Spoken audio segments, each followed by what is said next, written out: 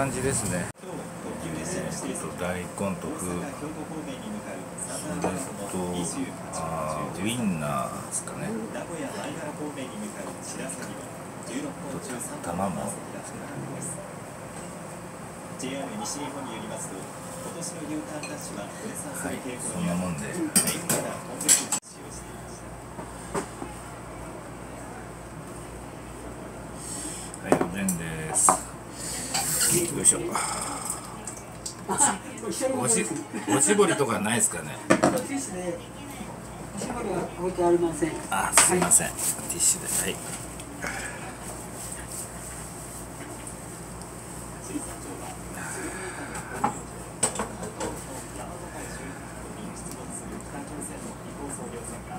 今シーズンは今のところ大きく減少能登半島沖300キロにあるスルメイカの岩の屈指の漁場となっている大和海周辺では漁業を開花する前の5月から水産庁の漁業取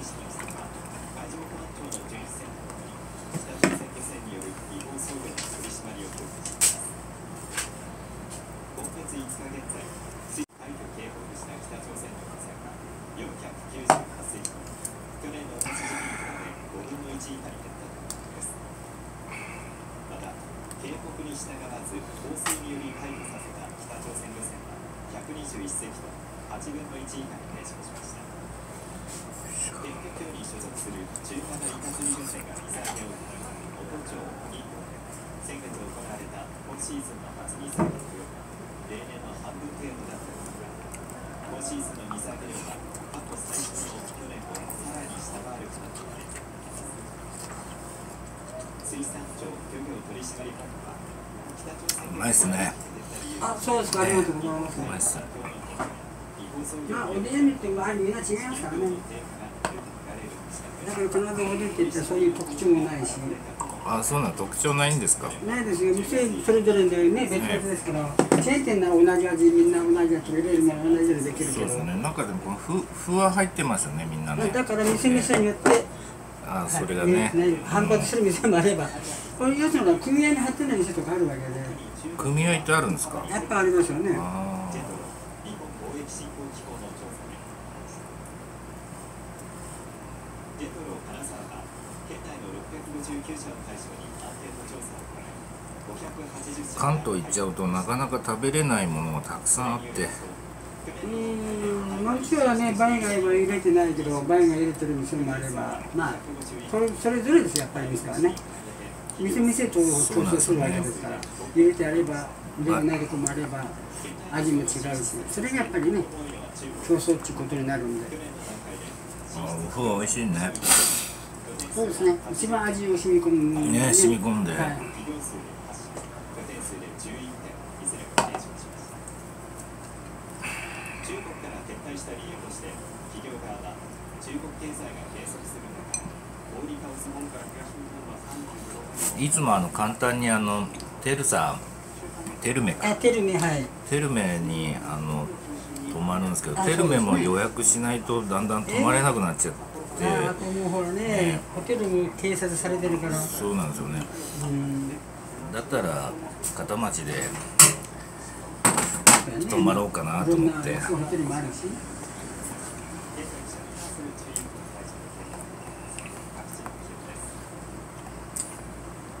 午後6時の各地の気温です。夕方になってもそれほど気温が下がらない。はい。えーとこの暑い中あのおでんを食べてきました美味しいですね。お麩ですね。金沢の麩。これ美味しいですね。おかわりしちゃいました。途中なんかあの関西弁の若いお兄ちゃんたちが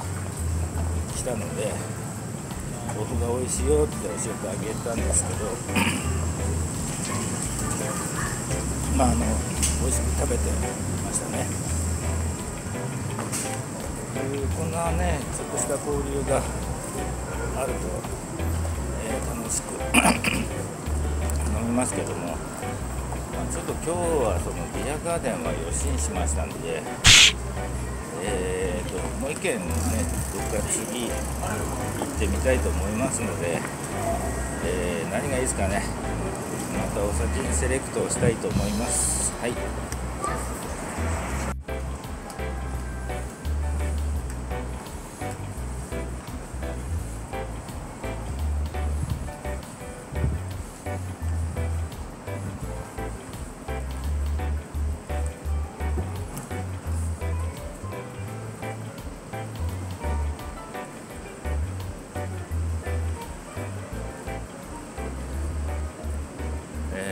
れ分かりますかね？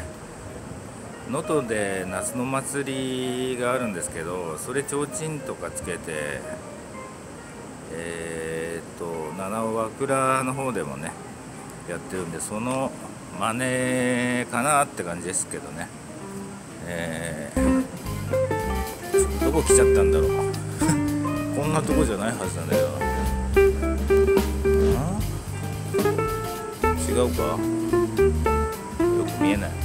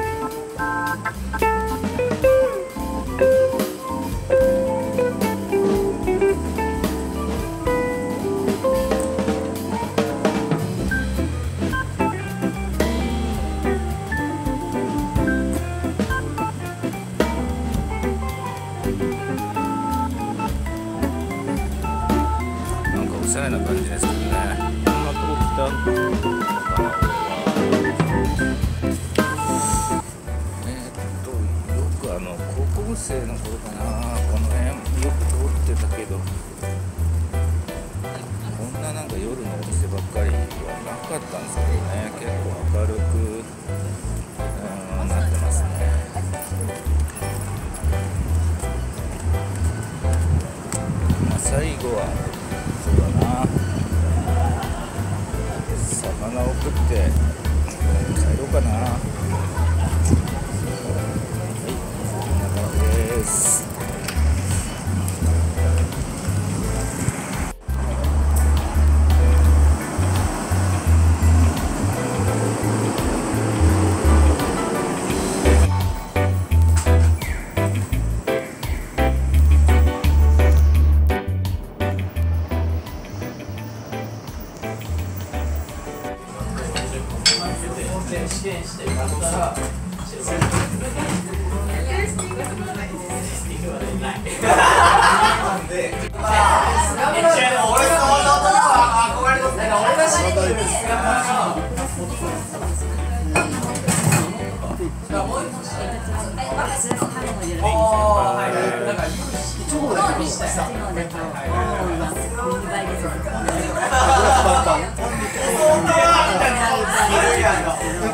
次はね海鮮に行ってみたいと思います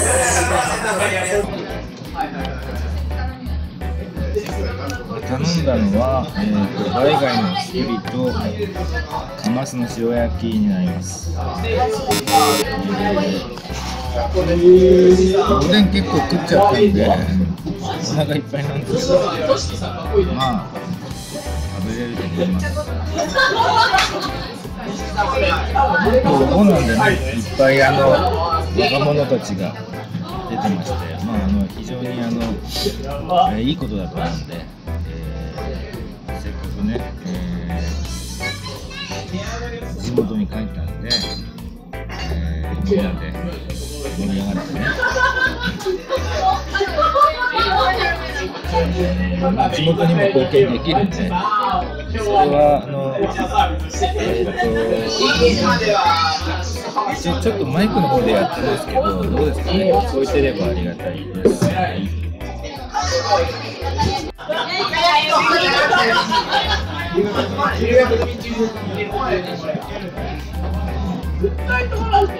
2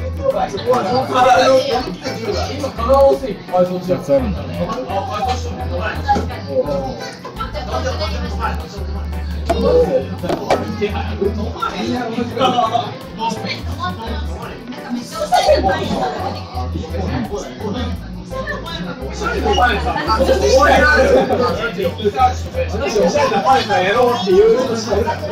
うまいです。は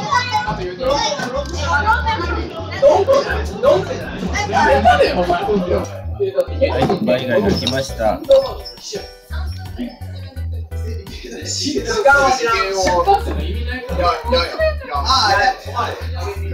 おでん屋の中にはね、バイ貝のあのおでんもあるらしいんですけど、えっ、と、今言ったおでん屋は、えー、バイ貝なかったですね。えー。ま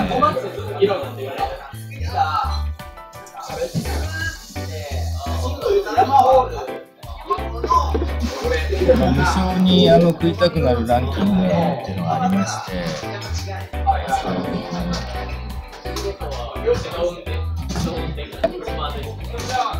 第1位、昆布締め、で第2位、バイ貝っていう感じなんですけども、バイ貝なかなか食べれなくて、まあ、ただのつぶ貝だと言えばそのそれまでなんですけど、まあ、バイ貝はバイ貝だっていうふうに、まあ、思ってまして、えーまあ、それもね、ちょっと今日堪能していきたいと思います。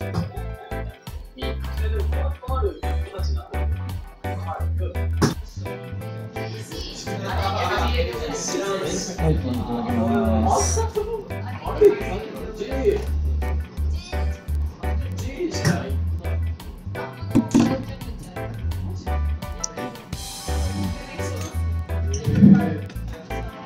はい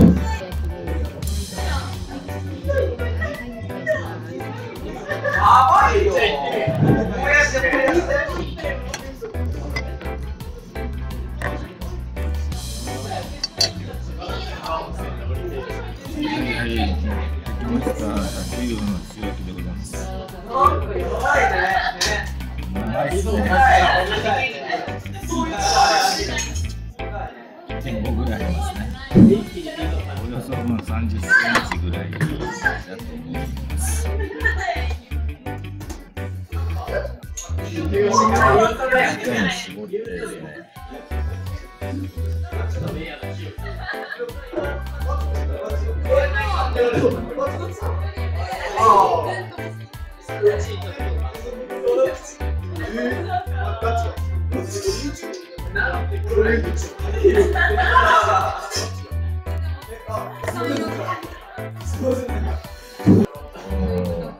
ホクホクでございますね。あー、これね。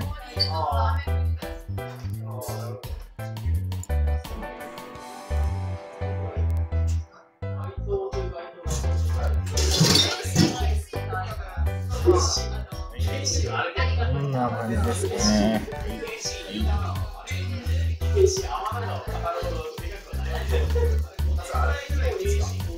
うんうまいですね。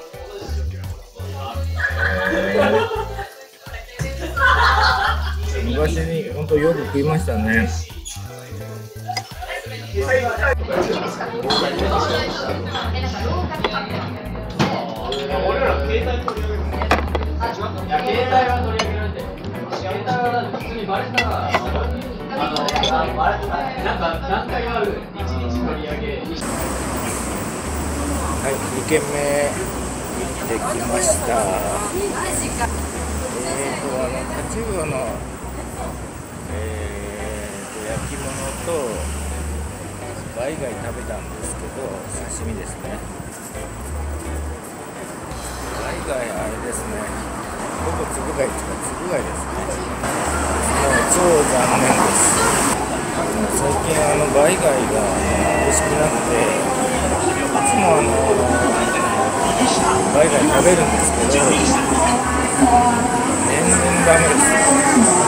つぶ貝になるんです。えーまあ、そんな感じでちょっと、ちょっと残念なんですけども、ビール4本は飲んじゃったんで、あのそろそろ、えー帰って、しようかなと思ってます。で明日の朝早いんで、これで終わりにしようと思います。はい、じゃあ、ありがとうございました。こう、あのー若い子がね、えーいましたけど昔のあのお酒の時代とも変わらないですねあもう着きましたけどちょっと待ってくださいねはい着きました着きました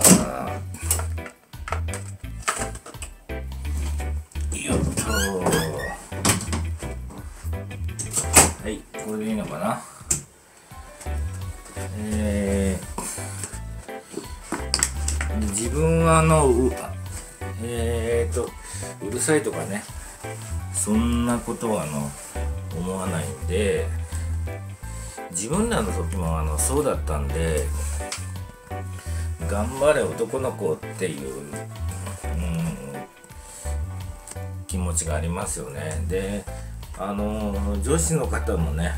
あの付き合ってくれたんでえー、お酒にではないですよ。あの若い子たちになんですけど、えー、それがあの微笑ましくね、え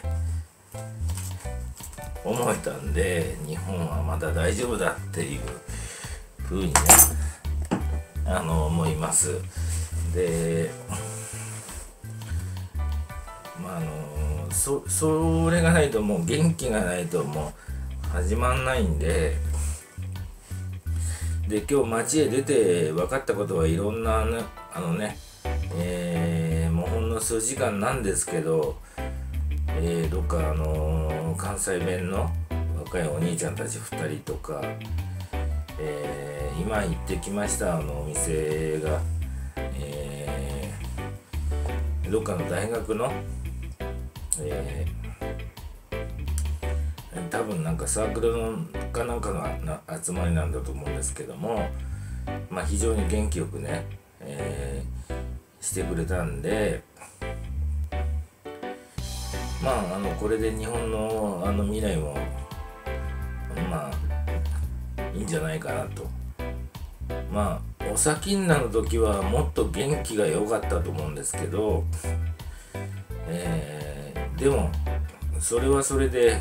今は彼らは彼らなりにまあ頑張ってくれてるのかなっていうので微笑ましく、まあ、思いながら飲んでました。であとお先の隣にあの自分よりもちょい若ぐらいの人があの飲んでまして小説読みながら。あそれなりにかっこいいなと思ったんですけどまあそういうね人たちにも、えー飲めるような環境があればいいのかなと思うんですよね。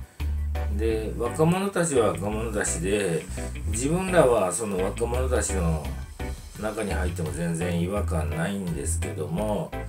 えーそうではなくちょっとその断念している、えー中高年の方がいらっしゃるのかなって思いますと、えーお店側の方もまあそれをよく考えていただきたいなっていうふうに思います。やっぱりたまにはあの地元に帰った時に美味しい魚が食べたいなって言った時に、えー気軽に食べれるお店があってもいいのかなと思います。ででそれがなかなかあのーおじさんですよね。まあ高齢化してるんで、えーなかなか難しいというところになってましてまあこれはあとね、えー10年後問題。我々50-50ぐらいの 年代がどういうふうに立ち振る舞うのかっていうところに、まあ、かかってることだと思うんで元気よくね50-50の、えー回ですね、えー元気よくねやっていけたらと思っています。えー今日はねビール4本飲みましたけど結構酔ってますのではいじゃあこの辺でお開きにしたいと思います。はい今日も一日ありがとうございました。おさきんでした。